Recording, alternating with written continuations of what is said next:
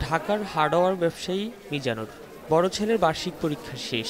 তাই তিন ডিসেম্বর দুই ছেলেকে নিয়ে তার স্ত্রী নাদিরা আক্তার গ্রামের বাড়ি নেত্রকোনায় যান। সেখান থেকে মোহনগঞ্জ এক্সপ্রেসে ফিরছিলেন ঢাকায়। নাদিরার কলেজ পড়ুয়া ছোট ভাই হাবিবুর রহমানও সঙ্গে ছিল।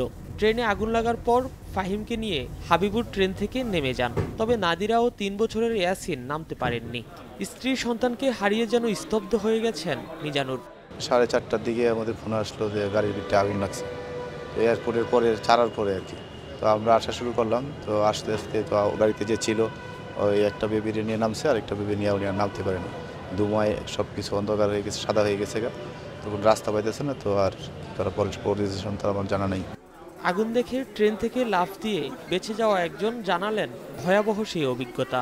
তাড়াহুড়া করে নামতে গিয়ে আমি লাভ দিয়ে ধোঁয়ায় অন্ধকার হয়ে গেছিল। নিঃশ্বাস নিতে পারতেছিলাম না। ওই জন্য বাঁচাতে লাভ দিচ্ছি ট্রেনের তিনটি বগিতে কারা কীভাবে আগুন দিয়েছে তা তদন্ত করা হচ্ছে বলে জানিয়েছেন ডিএমপি কমিশনার।